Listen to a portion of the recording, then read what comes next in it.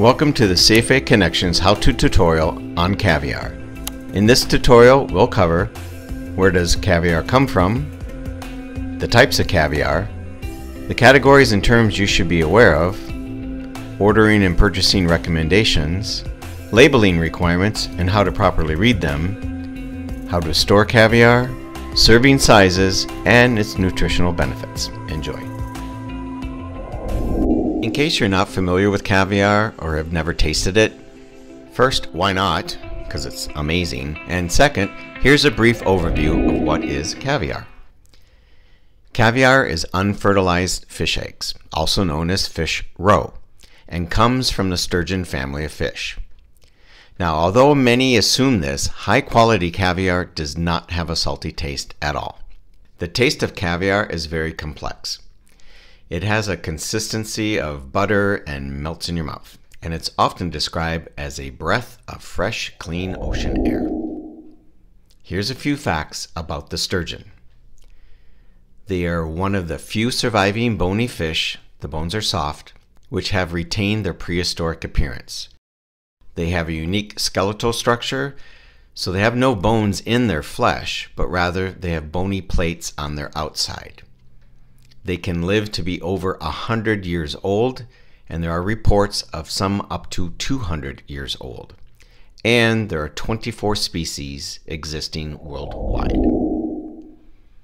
There are several types of caviar, and we'll be focusing on what is known as the Big Five, which are beluga, osetra, Kaluga, sevruga, and American. Here's a brief overview of each of the big five, starting with beluga. It's regarded as the finest, most prestigious caviar in the world. Beluga caviar was made illegal in the United States in 2005 due to the species of sturgeon being critically endangered. The 2005 ban on U.S. imports of Russian beluga was the first unilateral U.S. effort to save the species from extinction.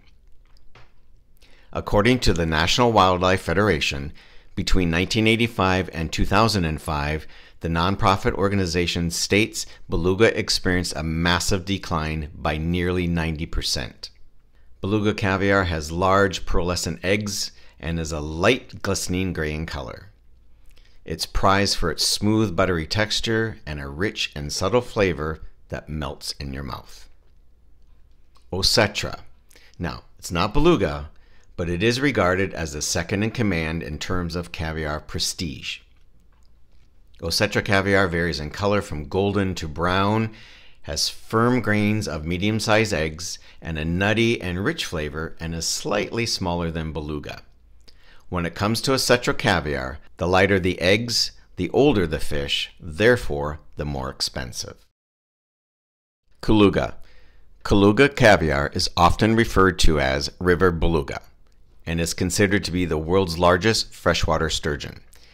The hybrid Kaluga caviar is a sustainable answer to the endangered beluga.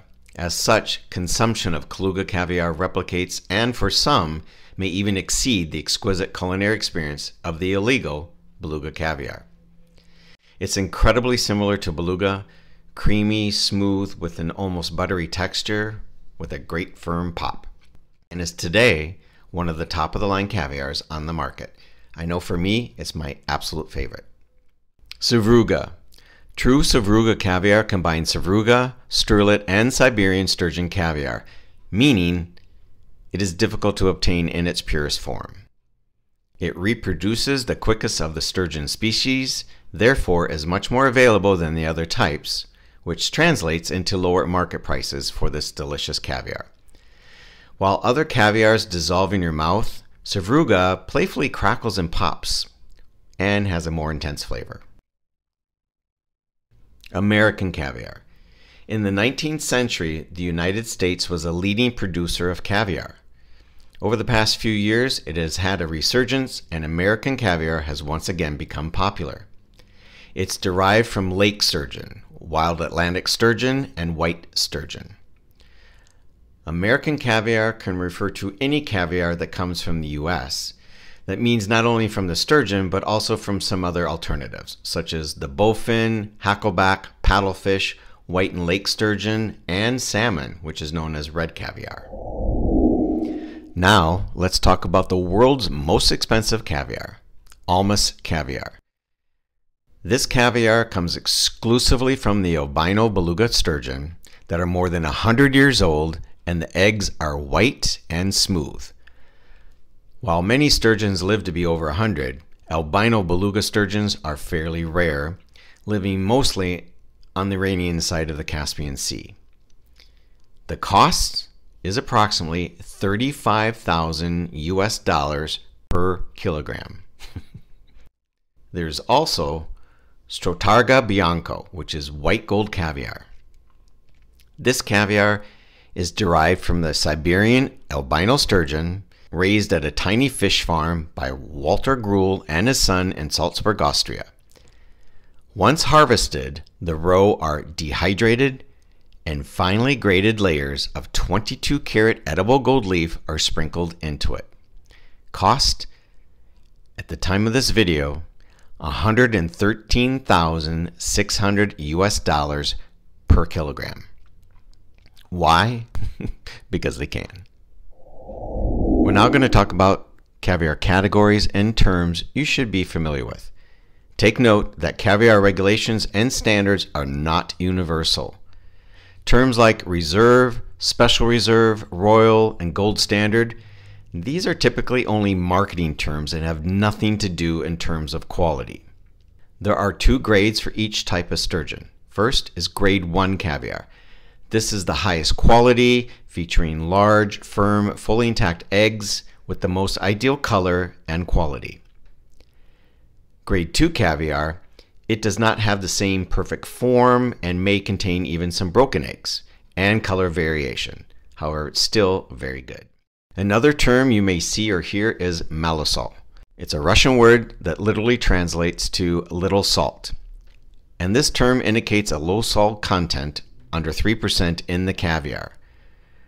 With less salt added in the curing process, you get more of the natural flavors of the eggs and can expect higher quality overall. When ordering and purchasing caviar, there actually are strict caviar labeling requirements, and per CITES, which is the Convention on International Trade in the Endangered Species, they are all containers of caviar must have a non reusable label, which means the label cannot be removed without being damaged. The label must either seal the container or the caviar must be packaged in such a manner as to permit visual evidence of any opening of the container. There are two types of labels. A label confirming the caviar was packed by a processing plant in the country of origin, or a label confirming the caviar was repackaged in another country. And here are some examples of each of the label types. First, a country of origin label. CITES has established three-letter codes for the identification of sturgeon, hybrids, and mixed species. As an example here, HUS is the code for giant or great sturgeon beluga. Now, this is the most important code for you to check on your labels to confirm you are indeed receiving the type of caviar you are purchasing. Next is the source of caviar code. There will be a W or a C meaning W for wild caught or C for captive bred, or also known as farm raised. There'll be the country of origin. This example, RU, means Russian Federation. It will include the year of the harvest and the official registration code of the processing plant and the lot number which corresponds to the caviar tracking system. The country of repackaging label will differ slightly from the country of origin label, and I'll point out the main difference here. The species code, the source code, and the year all look the same as the origin label. Here, PER is the code for Persian sturgeon. The source code W is for wild caught, and the year of repackaging is 2023. The main difference is in the registration code. We'll have a repackaging plant two-letter code before the number. In this case, it's Persian, so it was originally packaged in Iran, the Caspian Sea area, and the DE means it was repackaged in Germany.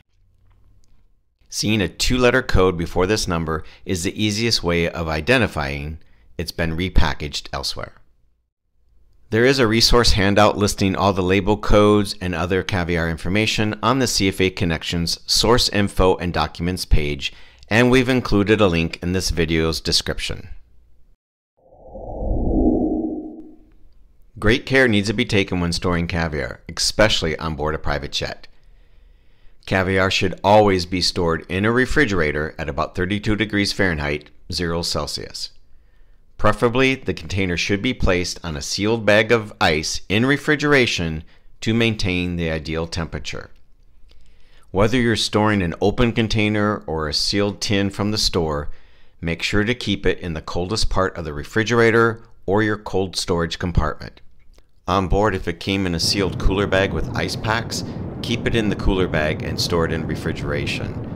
Otherwise, it may be best stored in an ice drawer with baggies of ice flanking the container.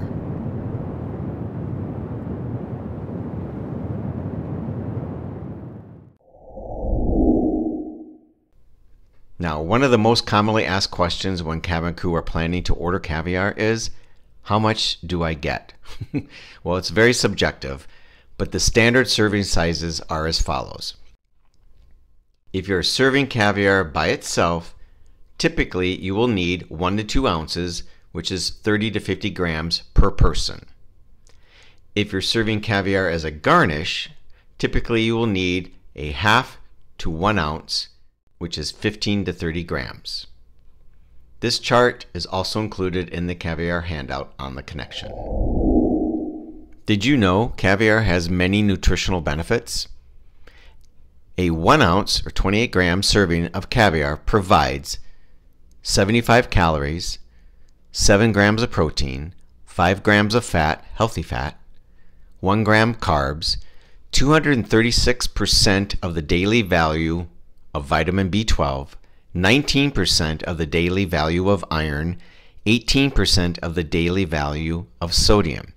It's also high in omega 3, vitamin C, vitamin E, and vitamin A. If you're planning on serving caviar, you need to make sure you have all of the accompaniments and serviceware to properly serve your caviar.